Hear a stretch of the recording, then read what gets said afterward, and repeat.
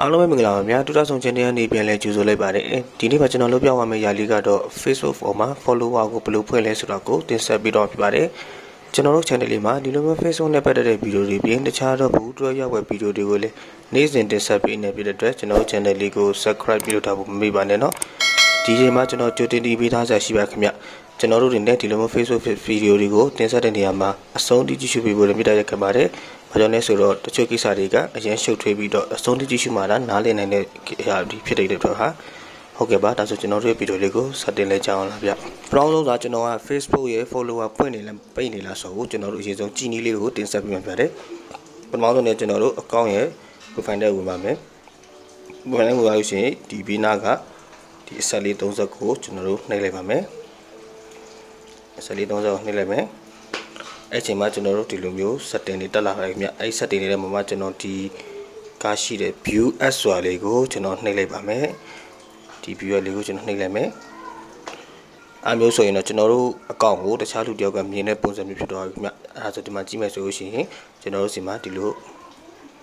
F friend ဆိုပြီးဖြစ်နေပါခင်ဗျအဲ့လို F friend လို့ဖြစ်နေတဲ့အကြောင်းရင်းကကျွန်တော်တို့ကောက်မှာ follower ပွင့်မနေသေးဘူးဆိုဆိုတော့ဖြစ်ပါတယ်ကျွန်တော်တို့ကောက်ကို follower ပွင့်မနေဘူးပြီးတော့ဒီနေရာမှာလည်း follow ဘိုင် ဘယ်နှယောက်ဆိုပြီးတော့ကျွန်တော်ညမတင်ပေါ်ပြထားမျိုးမရှိတဲ့အတွက်ဒီကောက်မှာ follower ပိတ်နေတဲ့အကောင့်ဖြစ်ပါတယ်အဲ့အတွက်ကျွန်တော်တို့ follower ဖွင့်နည်းလေးကိုတင်ဆက်ပြပါတယ်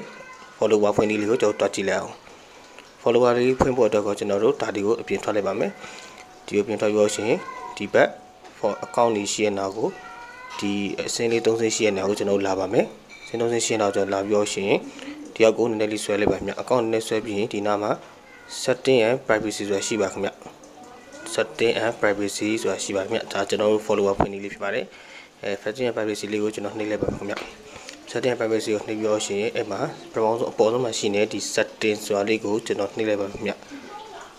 အဲ့ setting ဆိုတာလေးကိုကျွန်တော်နှိပ်မယ်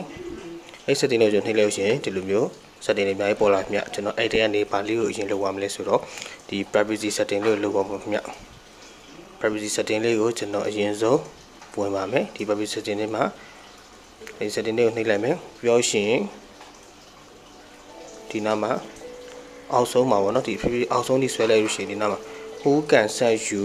friend request ဆိုရှိပါခင်ဗျအဲ့လာလေးကိုကျွန်တော်နှိပ်လိုက်မယ်ကျွန်တော်ကောက်မှာဒီထဲမှာ AB1 ဖြစ်နေပါခင်ဗျ AB1 ဖြစ်နေတယ်အဲ့ AB1 ဖြစ်နေလို့ရှိရင်တော့ကျွန်တော် follower ဖွင့်လို့မရဘူးဗျအဲ့ဒီ AB1 ဖြစ်နေတာကိုအောက်ကဒီတခု friend on friend ဆိုတာလေးကိုကျွန်တော်ရွှေပြောင်းပြီးလိုက်ပါခင်ဗျဒီ friend on friend လေးကိုကျွန်တော်ပြောင်းပြီးလိုက်မယ် ပြီးပါပြီဒီကန်နေရတော့ကျွန်တော်ပြီးပါပြီကျွန်တော်ဒီဘက်ကိုပြန်ထွက်လိုက်မယ်ပြီးရင်နောက်တစ်ဆင့်ထပ်ထွက်ပါမယ်ခင်ဗျနောက်တစ်ဆင့်ထပ်ထွက်လိုက်လို့ရှိရင်ကျွန်တော်ဒီနားမှာ public post ဆိုတာရှိပါခင်ဗျဒီ public post ဆိုတာလေးရှိပါခင်ဗျအဲဒီ public post နဲ့ပတ်သက်ပြီးတော့ကျွန်တော်ဗီဒီယိုလေးဆုံးမှာပြောတယ်တစ်ခုရှိပါတယ်ဘယ်လိုဆိုတော့ဒီ public post ကအကောင့်ထဲမှာမရှိပါဘူးမြတ်အဲ့တော့ကျွန်တော်ဒီဗီဒီယိုလေးဆုံးမှာဘယ်အကောင့်ဒီမှာရှိတယ်ဆိုတာကိုကျွန်တော်ပြပြပြပါဖြစ်ပါတယ်တော့ဆိုတော့ကျွန်တော်အကောင့်အကောင့်မှာ public post ရှိနေတဲ့အတွက်ကျွန်တော်ဒီ public post ကိုဝင်လိုက်ပါမယ် public post ကိုဝင်လို့ရှိရင်ဒီမှာဒီမှာဟိုပါတော့ setting တွေရှိပါမြတ်အဲ့ setting တွေမှာပထမဆုံးတစ်ခုကကျွန်တော်ဒီမှာ friend ဖြစ်နေပါတယ်ကျွန်တော်အလားကို public ချိန်လိုက်ပါခင်ဗျပြီးရင်ဒီဒုတိယတစ်ခုမှလည်းဒီဟူကန်စီဦးရဒီဟာလေးပေါ့နော်ဒီကတော့ဒီဟာလေးပေါ့အဲ့လာလေးကိုကျွန်တော်ဒီ public ချိန်လိုက်မယ်ဒါကိုလည်း public ချိန်မယ်ပြီးရလို့ရှိရင်ဒီအောက်ကကောင်မှလည်းဒီအောက်ဆုံးတစ်ခုလည်း ကျွန်တော်ဒါလေးကိုလည်းဒီတစ်ခုကိုလည်းကျွန်တော် public ဒီမှာ fan ဖြစ်နေတဲ့ဟာကိုပဲကျွန်တော်အဲ့ဒါကို public ချိန်ပါမယ်ပြီးလို့ရှိရင် profile public profile info ဆိုတာလေးရှိပါခင်ဗျအလာမှာလေးကျွန်တော်တို့ public လေးထပ်ချိန်ပေးပါမယ်ဒီမှာကျွန်တော်ဟာလေး friend ဖြစ်နေပါခင်ဗျအလာလေးကိုကျွန်တော် public ချိန်ပါမယ်ဟွန်း public လေးချိန်ပေးလိုက်ပါခင်ဗျ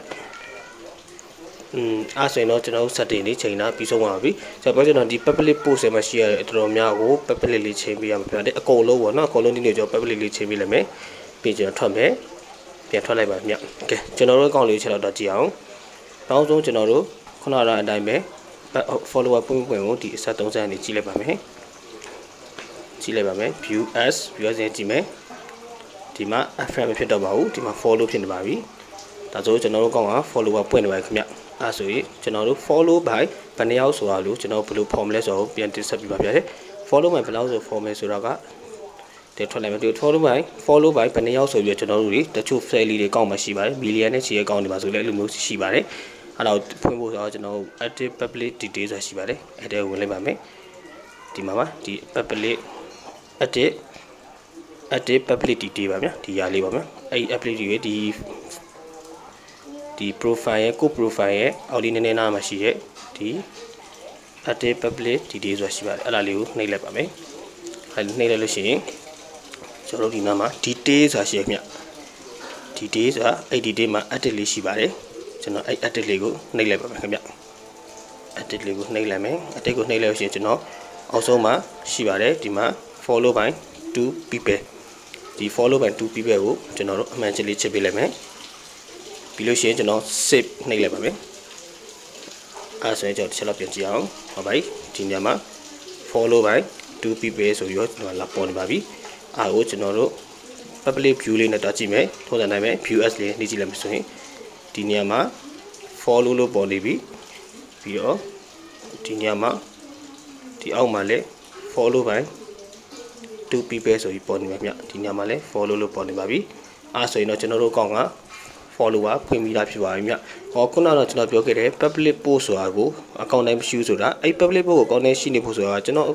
ကျွန်တော်တို့အကောင့်ထဲမှာရှိတဲ့ birthday ကဟို session လေးပြည့်နေဖို့လိုတာပေါ့နော်2002ခုနှစ်ထက်နောက်ကျစောနေဖို့လိုတာပေါ့2000 2000တော့2001ခုနှစ်တော့အနည်းဆုံးဖြစ်နေဖို့လိုတာပါတယ်အဲ့လိုမှမဟုတ်ရင်အဲ့ public post ကမရှိဘဲနဲ့ follower ဖွင့်ရမှာ follower ဖွင့်လို့အဆင်မပြေနိုင်ဘူးပေါ့ဗျာ။ Okay ပါဗျာကျွန်တော်တို့ဗီဒီယိုလေးကိုအစိုးရကြည့်ရှုပေးတဲ့အားလုံးကျေးဇူးတင်ပါတယ်။နောက်ဗီဒီယိုများမှာလည်းပြန်တွေ့ဆုံကြပါမယ်ခင်ဗျ။အားလုံးကိုကျေးဇူးတင်ပါတယ်။